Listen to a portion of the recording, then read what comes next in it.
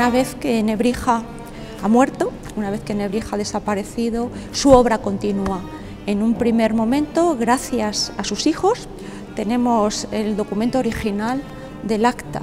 que firmó Sebastián de Nebrija para retirar los libros de su padre que habían quedado en depósito en la recién fundada Universidad eh, de Alcalá de Henares y ahí aparecen una serie de obras, algunas de ellas se nos han perdido, es una pena que no las conservemos, pero sabemos que esas obras se las llevaron a Granada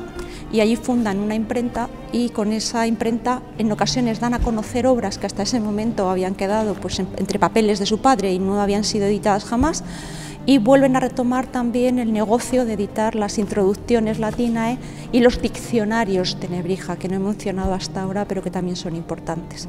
Así que esa obra va a tener una vida eh, independiente una vez que los descendientes de Nebrija pues, mueren, se muere el último bisnieto y ya no tenemos más Nebrijas impresores y la obra sigue, sigue adelante. La última parte que la trataría de manera global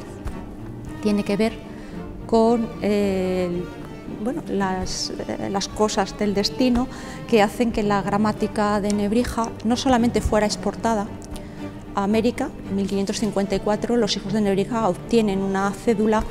para, para poder exportar las gramáticas de su padre a América, sino que los misioneros que llegan allí y que entienden que han de explicar y que han de evangelizar utilizando las, lenguas vernáculas, van a acometer la redacción de nuevas gramáticas del náhuatl, mosca, quechua, mm, de todas las lenguas con las que se van topando y escogen la gramática latina de Nebrija como un modelo para poder construir sus propias gramáticas.